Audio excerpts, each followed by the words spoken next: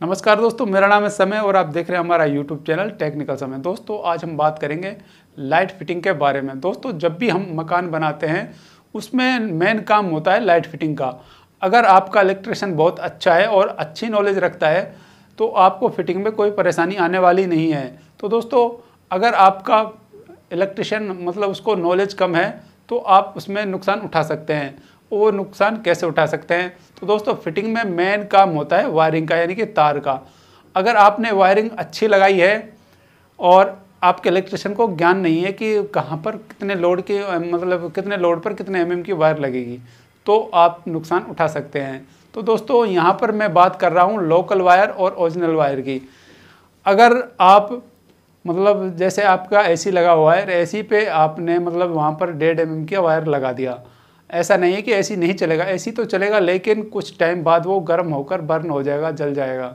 तो दोस्तों, यहाँ पे आपको चाहिए कि अगर आपका एसी का अलग पॉइंट है तो वहाँ पर कम से कम ढाई एम वायर आपको लगना चाहिए।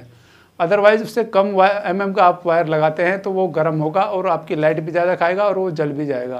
तो दोस्तों, ये ध्यान रखने वाली बातें जैसे पंखा है लाइट है, इन पर आप नॉर्मल डेढ़ एम एम एक एम से भी इनको चला सकते हैं। लेकिन जहाँ आपके मतलब पावर के पॉइंट हैं, वहाँ पर ही तो फोर एम mm लगाएँ। अगर आप फोर एम mm लगाते हैं तो आपको लाइफ में कभी परेशानी नहीं आएगी। तो दोस्तों, ये बात आपकी ध्यान रखने वाली है। दोस्तों स्विच वगैरह तो हम बाहर से चेंज कर सकते हैं, लेकिन जब हमारी वायरिंग डल जाती है तो वायर बदलने में आपको काफ़ी दिक्कत आती है। तो दोस्तों, आपको चाहिए कि आप वायर जैसे अगर आप वायर लोकल भी लेते हैं तो कोई परेशानी नहीं है। आप लोड के हिसाब से वायर लगाएँ। जैसे जहाँ पर जितना लोड है, उसके हिसाब से लगाएँ। लोकल हो, चाहे ओरिजिनल हो, और दोनों वायर चलेंगे, कोई परेशानी आपको नहीं आएगी। क्योंकि इससे पहले भी जो बिल्डिंगें बनी हुई, होती थी, उनमें एलुमिनियम वायर लगता था, जो आजकल की पुरानी बिल्डिंग कहीं आपने देखी होगी, वहाँ पर अब भी आपको मिल जाएगा।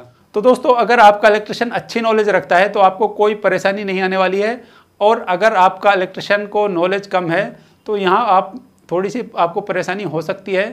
तो दोस्तों, इन बातों को आपको ध्यान रखना चाहिए। मैटर ये नहीं है कि आप अच्छी हाई से हाई क्वालिटी की वायर लगाएँ। आप नॉर्मल भी लगा सकते हैं, लेकिन उसको लोड के हिसाब से लगाएँ। तो आपको आपकी वायरिंग में कोई भी परेशानी नहीं आएगी।